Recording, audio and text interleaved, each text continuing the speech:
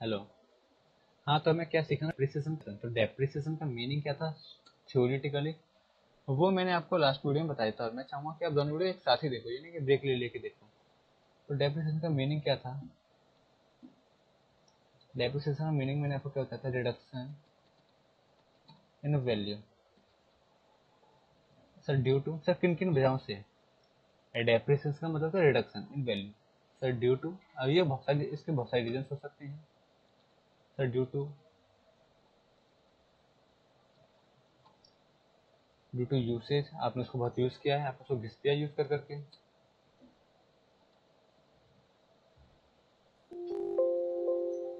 देखो मुझे इसको कनेक्ट करने दो चार्जिंग से।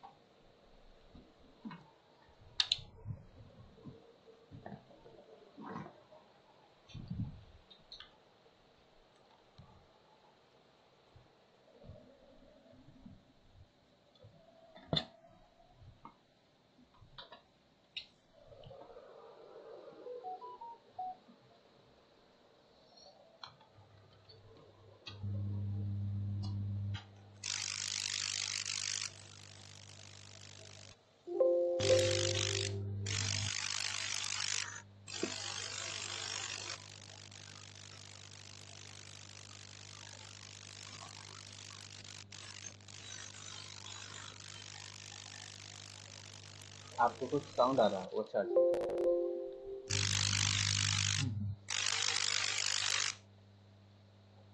अब नहीं आ रहा ना?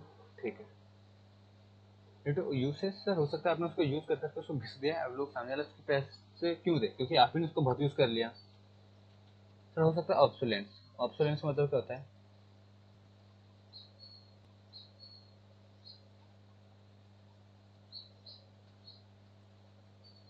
आई थिंक मैंने स्पेलिंग गलत लिखी है. Let me check it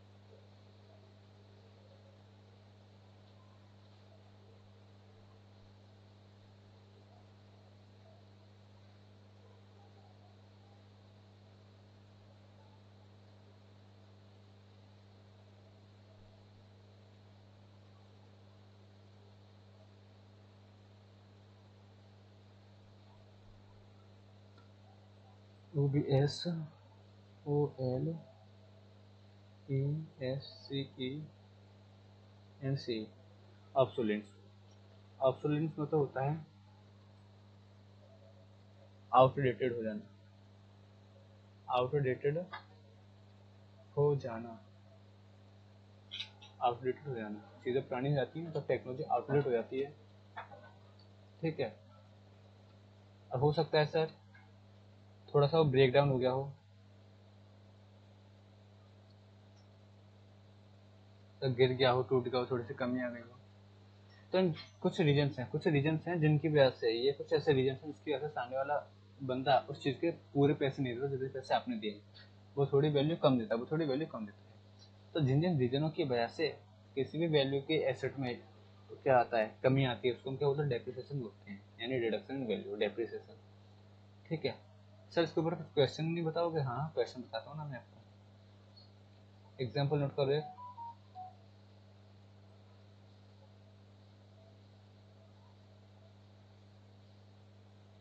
example बहुत ईजी है। I purchase a mobile a mobile phone of rupees ten thousand ठीक है? It D P R I C I A T it depreciates it depreciates मतलब कि इसकी वैल्यू डिक्रीज होती है। इसकी वैल्यू रिड्यूस होती है। डेप्रिसिएट मतलब क्या? इंक्रीज नहीं, कम होती है। कम कम कम. इट डेप्रिसिएट्स यानी ये बिल्कुल आपने डिक्रीज परसेंटेज वाला टॉपिक पढ़ते हैं डिक्रीज परसेंटेज वाला। तो डिक्रीज परसेंटेज वाले टॉपिक की तरह है ये। ये आपने डिक्रीज परसेंटेज वाला टॉपिक पढ़ा था बिल्कुल उसकी तरह है। यानी डेप्रिसिएट से इसकी वैल्यू डिक्रीज होती है डिक्रीज होती है। It depreciate at the rate of sir at the rate of at the rate of मतलब क्या सर ये बता रहे हैं। इसकी वैल्यू कम होगी ना, कितनी कम होगी? हाँ सर क्वेश्चन में ये बताया कितनी कम होगी? हाँ तभी तो सॉल्व कर पाओगे। हाँ। It depreciate at the rate of twenty percent तो ट्वेंटी परसेंट की रेट से डेप्रिसिएट होता है, यानी इसका है ना every year twenty percent twenty percent every year every year, every every year every year. हर साल उसकी 20 परसेंट वैल्यू गिरती रहती है। हर साल उसकी वैल्यू में 20 परसेंट का रिडक्शन आ जाता है। वैल्यू की वैल्यू में 20 परसेंट का रिडक्शन आ जाता है। क्वेश्चन में क्या तो सर क्वेश्चन में क्या पूछा? क्वेश्चन ये तो था। Find the value of mobile after two year यानी कि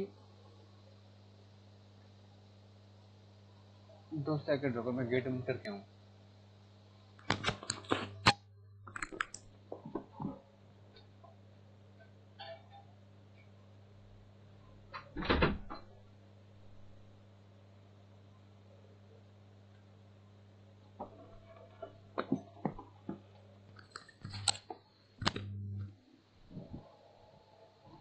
Find the find the value of mobile after two years. Find the value of mobile after two years. यानी कि ये पूछ रहा है कि अगर, अब मैं अपने मोबाइल को दो साल बाद बेचूँ, यानी दो साल में यूज़ कर चुका हूँ, दो साल में इसको यूज़ कर चुका हूँ, तब मैं दो साल बाद अगर इसको बेचा था तो इसकी वैल्यू क्या निकलेगी? इसकी वैल्यू क्या निकलेगी? तो सिंपल सा। वैल्यू निकालने का सिंपल सा तरीका क्या है? पहले तो निकालो। Value after one year one year value after one year, यानी एक साल बाद पहले होता है सर, एक साल बाद कितनी वैल्यू जाएगी तो सर, आपका ये है मोबाइल कितने का? दस हज़ार का। इसमें से आप माइनस करो ट्वेंटी परसेंट पहले साल तो ट्वेंटी परसेंट कमी आएगी इसके अंदर। Twenty percentage of word twenty percentage of word sir ten thousand तो दस हज़ार की वैल्यू दस हज़ार में से दस हज़ार की बीस परसेंट वैल्यू कम हो जाएगी। ठीक है, इसको फिर सॉल्व करो। दस हज़ार minus twenty percent of ten thousand two thousand rupees आ गया अभी आप सॉल्व कर लेना, ये मैं सॉल्व करके नहीं दिखा रहा, ठीक है? आपकी वैल्यू क्या गई तो आपकी वैल्यू क्या आ गई? वैल्यू आफ्टर टू इयर्स क्या आ गई आपकी? Value after one year value after one year कितनी आ गई? आठ हज़ार। वैल्यू आपकी कितनी आ गई? आठ हज़ार।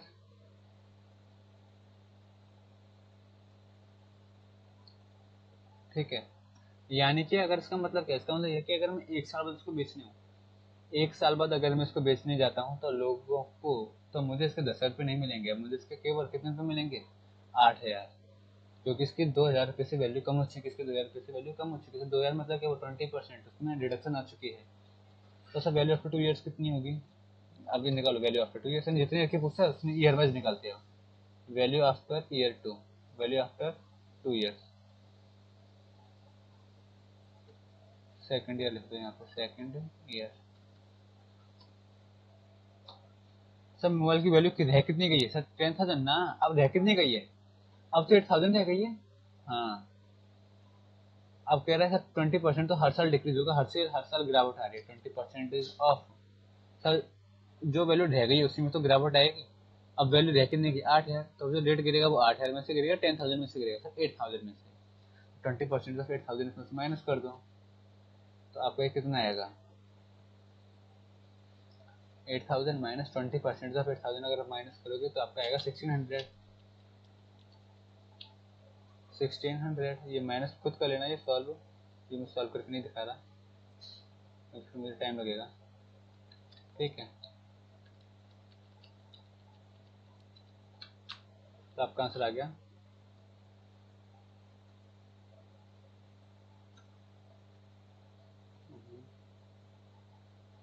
आपका आंसर आ गया सिक्सटी फोर हंड्रेड आपका आंसर आ गया सिक्सटी फोर हंड्रेड तो दो साल बाद जब आप इसको बेचने जाओगे तो दस से आपका मोबाइल आपका कितने का बिका सिक्सटी फोर हंड्रेड का सिक्सटी फोर हंड्रेड का। तो इस तरह से क्वेश्चन होता है, इस तरह से क्वेश्चन होता है। सर, इसका कोई ऑल्टरनेटिव है क्या? इसका कोई ऑल्टरनेटिव है क्या? हाँ इसका एक ऑल्टरनेटिव है। सर, क्या ऑल्टरनेटिव जरा बताओगे आप? हाँ। सर, मैंने बोला, एक साल बाद इसकी वैल्यू ट्वेंटी परसेंट से गिर जाएगी। ट्वेंटी परसेंट से गिर जाएगी। तो कितनी रह जाएगी? सर हंड्रेड परसेंट की वैल्यू है। हंड्रेड परसेंटेज की वैल्यू है। ट्वेंटी परसेंट गिर जाएगी। उसकी वैल्यू रह कितनी आएगी? एट कितनी रहेगी एटी परसेंट तो निकाल लो ten thousand into eighty percent eighty percent तो देखो तो अभी कितना रह जाएगा? तो अभी जो आपका आंसर आएगा वो कितना आएगा? एट थाउज़ेंड ही आएगा। एट थाउज़ेंड ही आएगा। ऐसे यहाँ पर निकालो सर, यहाँ पर भी सर, अब जो जो एट थाउज़ेंड है जो eight thousand hundred percent value है। एट थाउज़ेंड में से फिर आपका एट्टी परसेंट वैल्यू रह जाएगी ट्वेंटी परसेंट कम हो जाएगा। ट्वेंटी परसेंट कम हो जाने का मतलब एटी परसेंट रह जाएगी। रह जाएगी, ठीक है।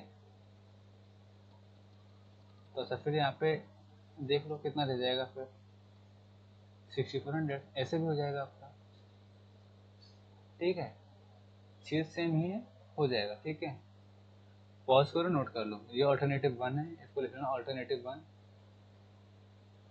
ऑल्टरनेटिव वन यानी एक तरीका तो ये है करने का। रुपीज़ के टर्म्स में सॉल्व करते जाओ, और एक तरीका यह है alternative to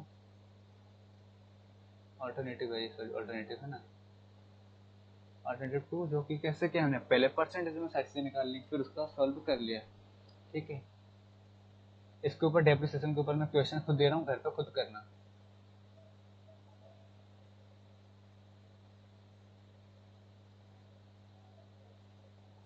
Question number five question number five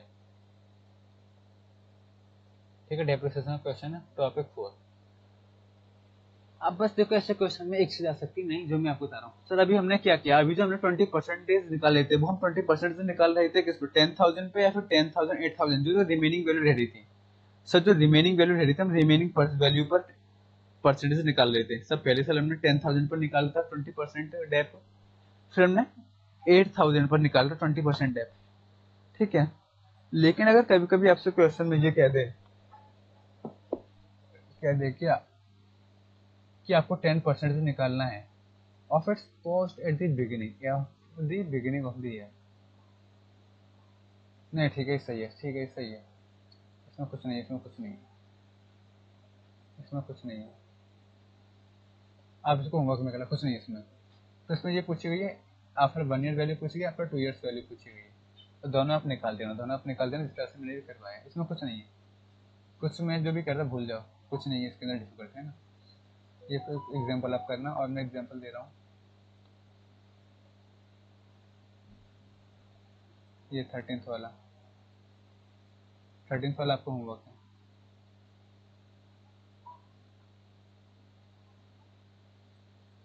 एक और भी होमवर्क दे रहा हूँ मैं। रुक जाओ अभी।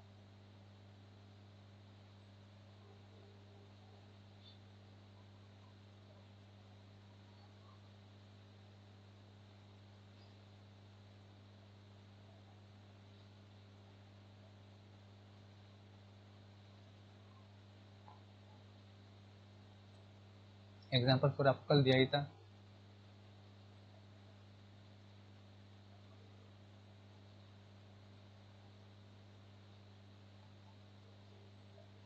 ये सारे आपको होमवर्क में आपको कॉल पे बताया था नोट कर लेना इनको, है ना? रिकॉर्डिंग हो रही है ना? हो रही है। अब मैं कुछ और एग्ज़ाम कुछ और भी दे रहा हूँ। है ना? क्वेश्चन नंबर थ्री दे रहा हूँ। टॉपिक वन के ऊपर ही है। टॉपिक वन के ऊपर ही बस थोड़ा सा दिमाग लगाना है। थोड़ा सा दिमाग लगाना है अच्छा क्वेश्चन है। अच्छा क्वेश्चन स्टार मार्क कर लेना। ठीक है?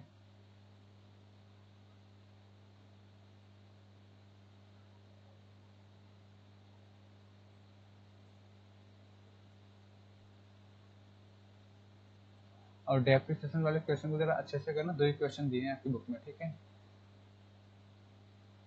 और आप चाहो तो आप गूगल करके डेप्रिसिएशन के क्वेश्चन निकाल सकते हो, अगर आपको ज़्यादा प्रैक्टिस करनी है तो। ठीक है? आपने क्वेश्चन नोट कर लिया तो ठीक है, अगर नहीं किया तो वीडियो को बैक करो पॉज करो नोट कर लो, ठीक है? बस इतना ही है आज के वीडियो में।